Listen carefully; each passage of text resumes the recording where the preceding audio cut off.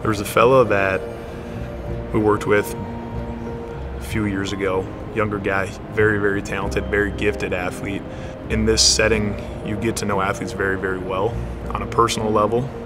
But one day, this gentleman I'm referring to came in and he just seemed off. Showed up to the workout late and just like, and just just wasn't himself. Like I said, you get to know these kids so well that you can tell when they're off. Things like 15, 20 minutes late to the workout, you know, nothing else like, hey, come on in, get more, just finish warm up, let's get you rolling. But something wasn't quite right, and you could just tell. So I kept nudging him throughout the workout. I was saying, hey, bud, what's going on? You know, I'm just like, nothing, fine.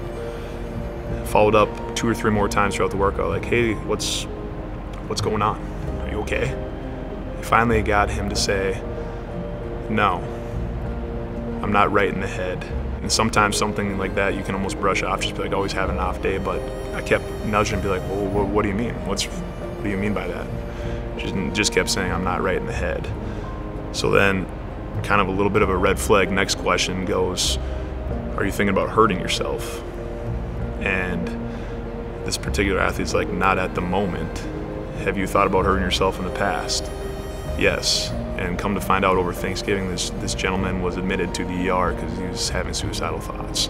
I spent two hours that night with him after that training session uh, in my office and kind of went over the, the pressures of earning that college scholarship. I think at the end of the day, he just wanted someone to talk to and someone to be there for him. Honestly, it was, it was very eye-opening. It kind of raises more awareness for those types of comments as a coach where like, if someone says, hey, I wish I wouldn't woke up this morning. Well, us coaches most times not be like, well, yeah, it's because it's 6 a.m. Like your alarm went off and you're tired, you didn't want to wake up. But is there actually something deeper beneath the surface of that comment? Is there more to this story that we don't know?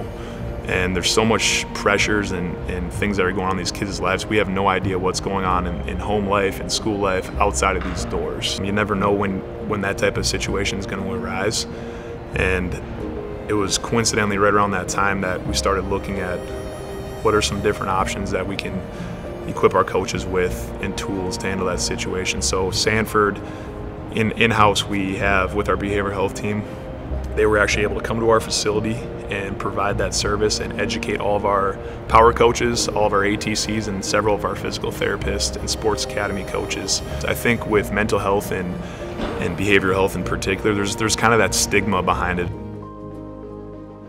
if it's not made aware of like your feelings, your thoughts, your emotions, your anxieties of what you're dealing with are normal, I think that just deters people to, to instead of reaching out for help, they try to handle that matter on, on their own. And you never know what that looks like.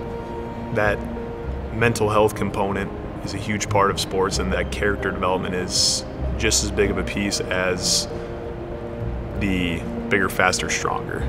Um, bigger, faster, stronger will get you to a certain point, but if you can combine that with that, that character development, that's going to take that athlete a heck of a lot farther. A lot of the athletes we work with on a day-to-day -day basis are going to be our future nurses, doctors, lawyers, leaders in the community. So even outside of the training aspect, you have the ability to mentor those kids on those basic life habits that can uh, set them up for success, not just in the sport, but hopefully those habits are developed and formed, and then those are the habits that they take with them as they pursue their future career.